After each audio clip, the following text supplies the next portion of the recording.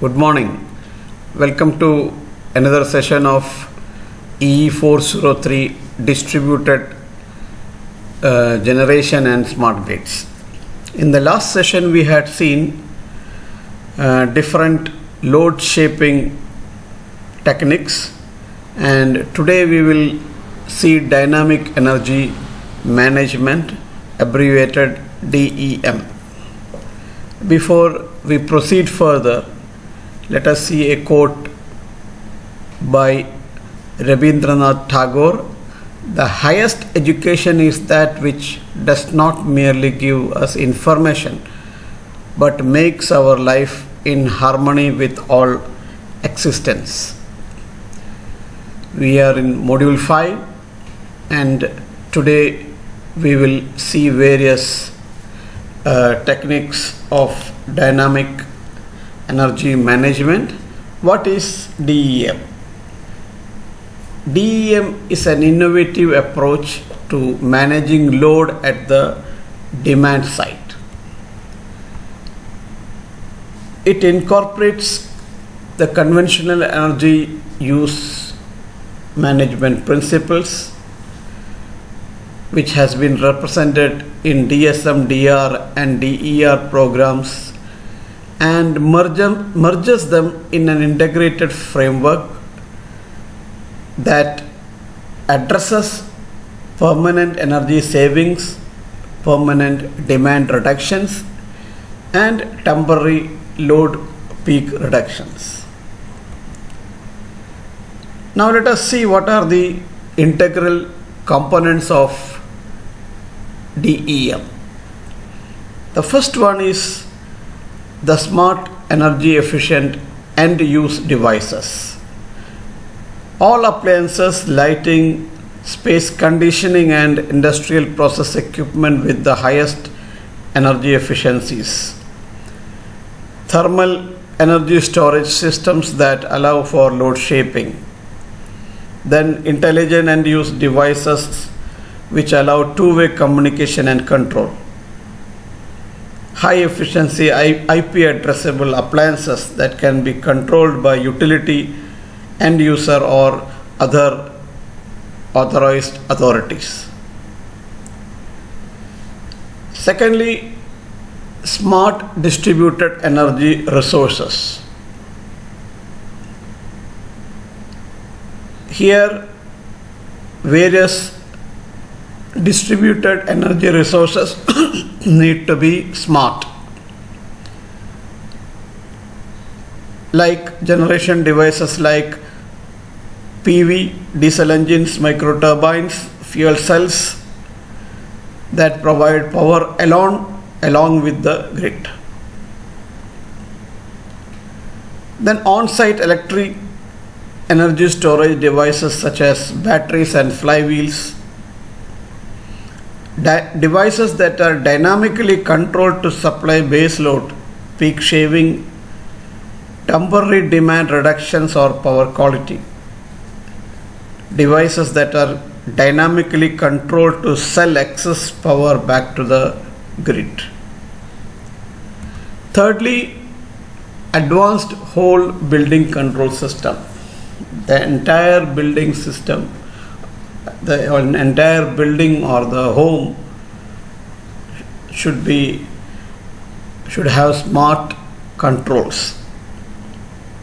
So these controls involve systems that optimize the performance of end use devices and DERs based on operational requirements, user preferences, and external signal from utility or end users. This control should ensure that these devices only operate as needed. For example, automatic dimming of lights when daylighting conditions allow or reducing outdoor ventilation during periods of low occupancy. These controls should allow two-way communication. For example, they can sense data such as, for example, mm, the carbon dioxide concentration in a particular room which might be dangerous for people living there to an external source and they can accept commands from an external source. Then there should be local individual controls that are mutually compatible with the whole building control system.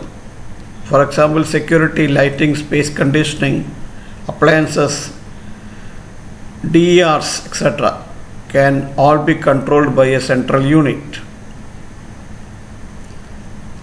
Also, these systems should have the ability to learn from past experience and apply that knowledge to future events. And finally, the integrated communications architecture. This should allow automated control of end user devices and DERs in response to various signals, maybe uh, such as pricing or emergency demand reduction signals from the utility, day ahead weather forecasts, or any other external alerts. For example, a signal could be sent to shut down the outdoor, outdoor ventilation systems in a building in the event of a chemical attack in the area. And end user signals. For example, a facility manager could shut down the building system from an off-site location during an unscheduled building closure. It also should allow the end user devices DERs to send operational data to external parties. These communication systems that have an open architecture to enable interoperability and communications among devices. So these four are the integral components of dynamic energy management and you can see them listed as building blocks of DEM. And here a picture is shown about the DEM infrastructure applied to a generic building. So you can see all the four components over here. The key features of a DEM are end user flexibility, simplicity of operation, and standard IT platforms. Open systems architecture and universal gateways, integration with existing building energy management system, open standards and interoperability, flat architecture for robust low cost systems. It should contain only minimum number of layers of control network protocols between the front end HMI and final control and monitoring elements. Here the boundaries of DSM are shown which can be categorized into DSM categories, DSM implementers and DSM policies.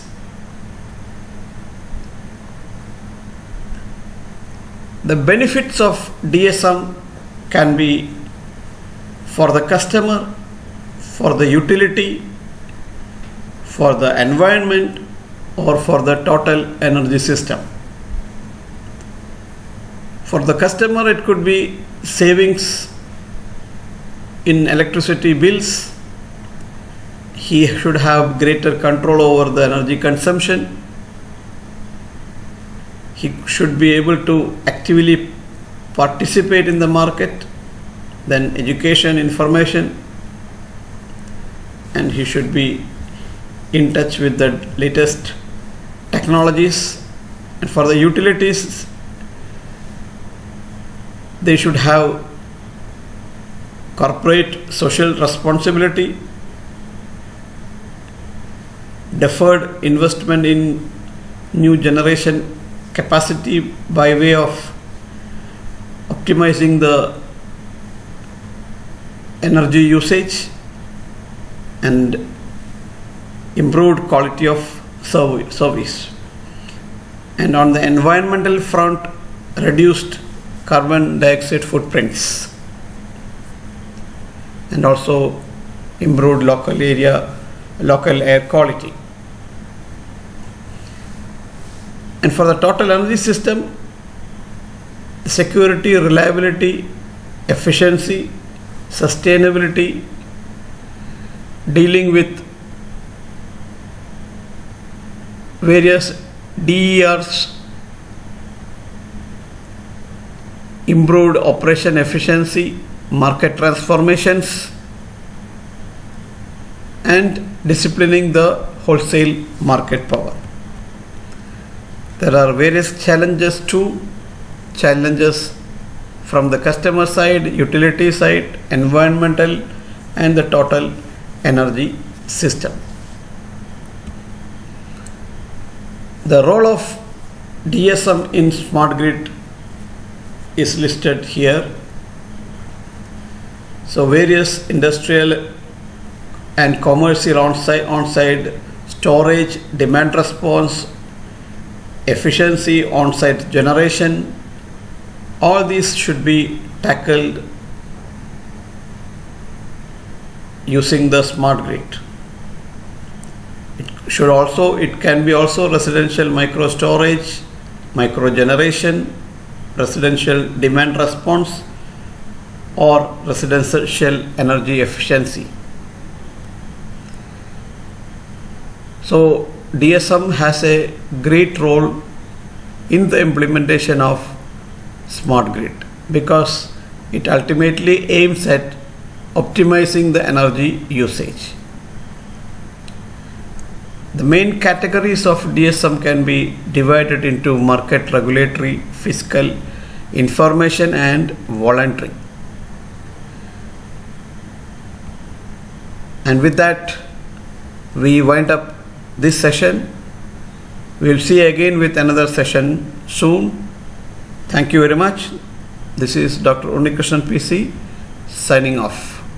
You can see a beautiful picture of the Red Fort at Old Delhi built by Shah Jahan in 1638. These are the references. If you feel free to contact me and thank you very much.